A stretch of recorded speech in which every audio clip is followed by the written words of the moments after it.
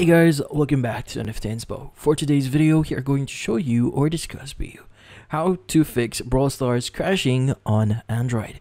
So if you're interested, let's start the tutorial. Now if you're having problems with your Brawl Stars here, there are a few things here that you need to do. So first things first is we need to close Brawl Stars. In this case, you want to go ahead and press and hold on Brawl Stars here. And from here, you want to click on the eye icon. Now at the bottom left of your screen, go ahead and click on the force stop option and just confirm. Now once it's actually forced up here, what we need to do next is we need to clear our cache. Now at the bottom right, click on clear data. And from here, click on clear cache and click on OK.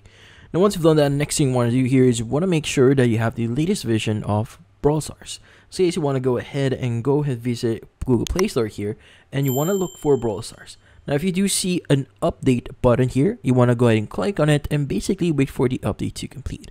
Now once the update is complete, what we need to do here is you want to go ahead and start using again and see if that solves the issue.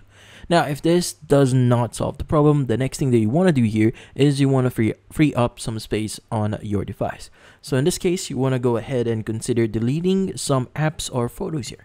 Go to your gallery, delete any videos that you don't want or you're no longer using or you no longer need, and also uninstall some apps. Now, for example, you could go and press and hold on the app itself, click on the trash can icon to delete the actual game. Now, in this case, just click on uninstall to delete it, and from then on, see if that solves the issue. In this case, that's about it. So, hopefully this video was able to help you. Like and subscribe to NFT Inspo. Thank you for watching.